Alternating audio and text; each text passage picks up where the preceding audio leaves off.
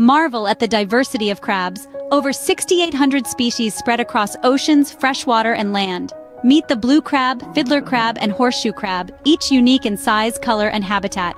Their chitin exoskeletons protect, growing through a process of molting. Ten limbs grant them agility, with claws for prey capture, defense, and communication. Omnivores at heart, their diet is a smorgasbord from algae to small fish. Economically crucial, crabs grace our plates and sustain industries, a world of crabs in a nutshell.